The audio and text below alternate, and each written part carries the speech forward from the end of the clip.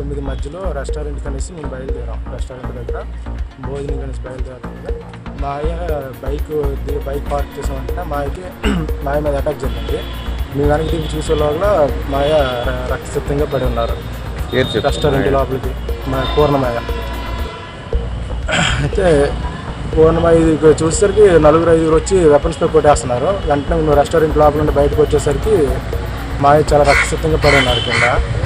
కింద వచ్చిన మేము వచ్చి మా వేరే ఆయన ఎవరో స్పాట్లో మేము కూడా ఆపడానికి ట్రై చేసాం. ఆపడానికి ట్రై చేస్తే మా మా మీద కూడా దాడి చేయడానికి ప్రయత్నించారు.